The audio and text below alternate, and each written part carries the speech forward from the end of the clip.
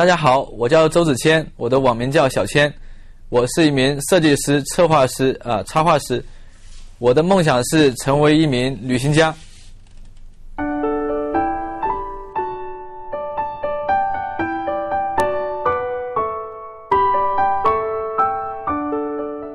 这次活动，我的计划是从二零一零年的三月三十一号开始，到二零一一年的五月四号，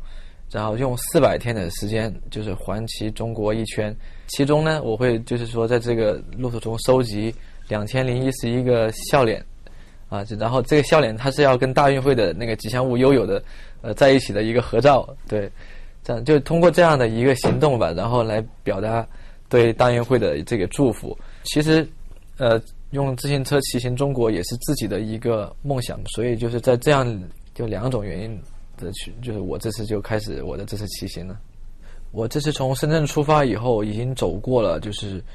二十一个省，还有直辖市，加上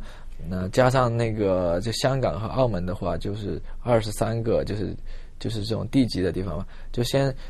先我从深圳出发，到的澳门和呃香港、澳门，然后广东。海南，然后广西、云南、西藏、新疆，啊，新新疆之后是甘肃、青海，呃，青海，青海过了是到宁夏，然后内蒙，然后在内蒙的时候，我当时呃呃就是气温比较低，然后我就把线路做了一些调整，就先骑了，就是说中国东部的海岸，就是这边的啊福建，然后上去是什么浙江、上海啊、江苏、山东、河北。然后北京、天津，然后，呃，辽宁、吉林、黑龙江，然后最后就是把这边完成这个线路完成了一个闭合，在在内蒙古。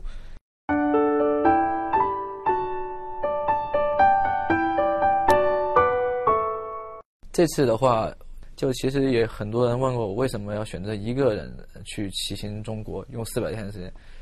因为大家都知道，一个人在呃。在外面四百天，其实更多时间就是说是比较枯燥、比较孤独的一个心理的一个感受吧。嗯，但是我我觉得一个人就好像一滴水一样，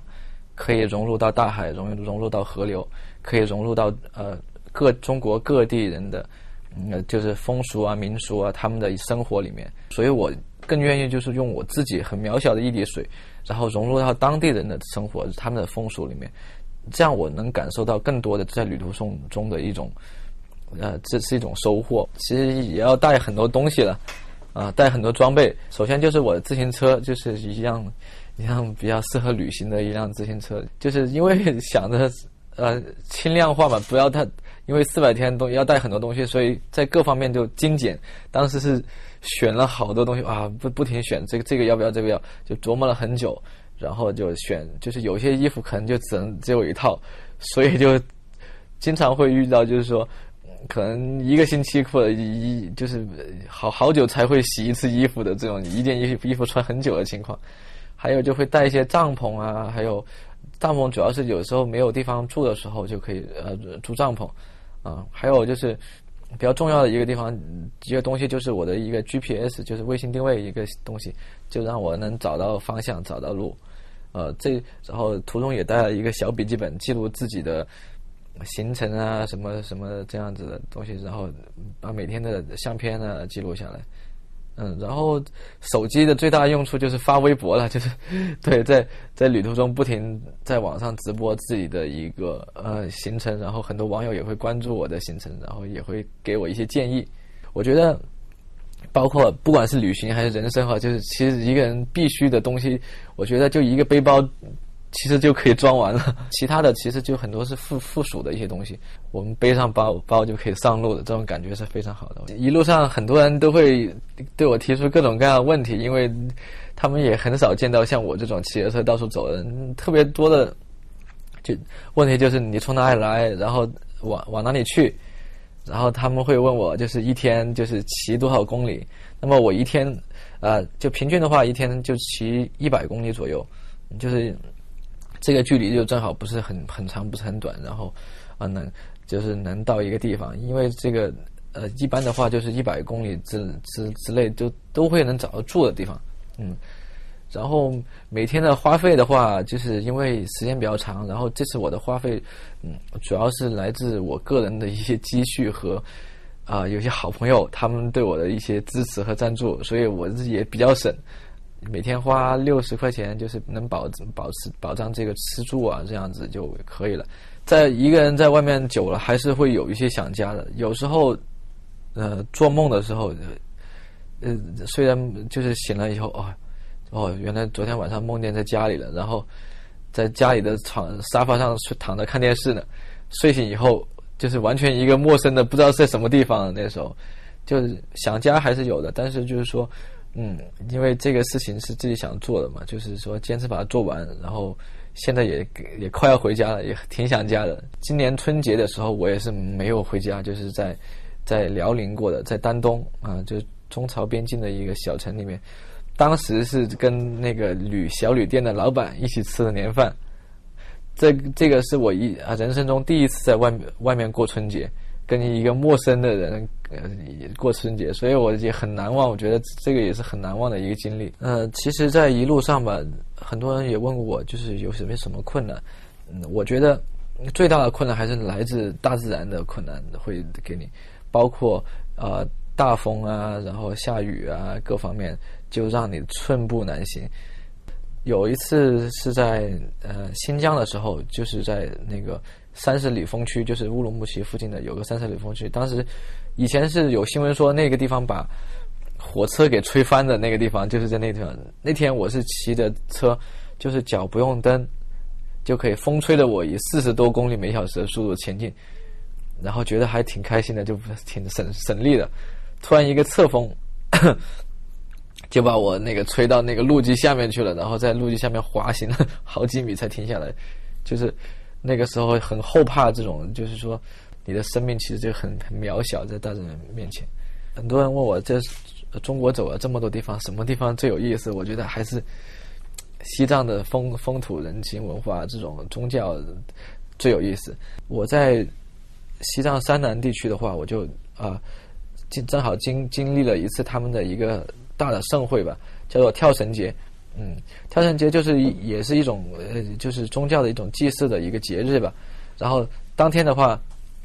各地的人都到叫那个桑耶寺的一个地方。桑耶寺是是那个西藏就第一座寺庙，就是桑耶寺。所以各地的藏藏族朋友都到了那个地方参加跳绳节。然后当时我也刚好到那个地方跟他们一起度过这么这么几天。可能当时我。的皮肤啊，我的这个，也就是这个状态，跟我的这肤色也挺像藏族朋友的。然后他们看我好像也是就同胞一样，也没有多看几眼，就觉得很很习以为常的这种。啊，然后看跳绳节的表演啊，在表演中也有各种各样的一些角角色吧，有一些像一些主持人啊，有一些是小丑啊，有一些是呃正正角啊这种。好，我看到一个嗯，就是一个父亲吧。他自己在人群后面，他看不到那个啊表演的，然后他把他的小孩举得很高，放在那个窗台上。他小孩其实就是只可能就几个月大，可能也看不懂什么，但他觉得这样子对他的小孩就是把更多的祝福、更多的爱，就是寄托在他小孩身上。所以我觉得这个也能反映出啊他们的父父爱的伟大吧。我在西藏山南地区遇遇到两个小女孩，是让我。非常难忘的就是那天是这样，我就在路上骑车，然后路过县城，就快出县城了，然后发现县城的那个路边上有很多小学生，嗯，在在路边上招手拦车，是怎么样一个情况呢？就是这帮小学生他们呃住的地方离县城可能有几十公里远，他们上学的地方是在县城里面，嗯，但是就是说，但是县城到他们家的中间这一段啊。没有校车，呃，也没有公车，所以他们只有靠就是说路边的这些便车，如果肯搭，他们能搭一段。就是说，我觉得他们的这条件是非常差的，他们在这么差的情况下也也很热爱学习。我觉得这一点，首先他就已经让我就是说，呃，觉得他们就是这种已经能坚持就很了不起。然后我就停停车停下来，跟两个小女孩聊天。两个小女孩就在我的手心里把他们的名字写写在我手心里，就一个叫丹真卓嘎，一个叫索朗梅朵。然后就他他把名字写在我手心里，然后我就我就其实就刻在我的心里一样，就我深深的刻在我心里，把他们名字记住了。然后我就先当时我就先往前骑车就骑着走了，过一会儿就一辆大客大货车超过我，啊，用一辆红色大客车超过我，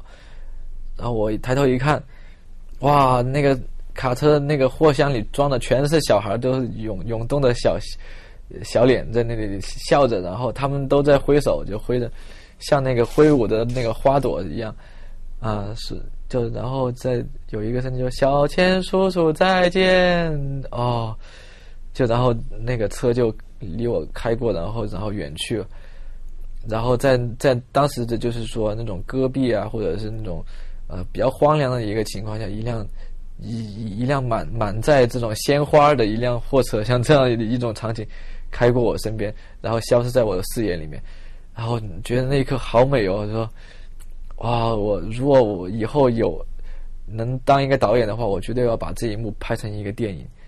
在大理不远的有个叫蔚山古镇的一个地方，但是我我去到这个古镇就发现这个古镇呢就是特别清静，没有什么游客，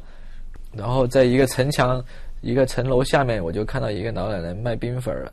然后然后了解到她是，她今年就快八十岁了，然后她在城楼下同一位置卖冰粉卖了六十年，但是她一说这个这个数字几个数字的时候，哇，就八八十岁六十年，就突然就把把就是这个已经把我镇住了。就是可能这座古城的这种沉淀，就跟这个老奶奶的沉淀就融合在一起了。就是说，其实这这个时候，这个老奶奶就代表这个这座古城的一个历史了。所以当时我觉得，哇，人一就是说一辈子用六十年的时间来做同一件事情，那是多伟大的一件事情！我用我用四百天来做一件事情，就也觉得很了不起了。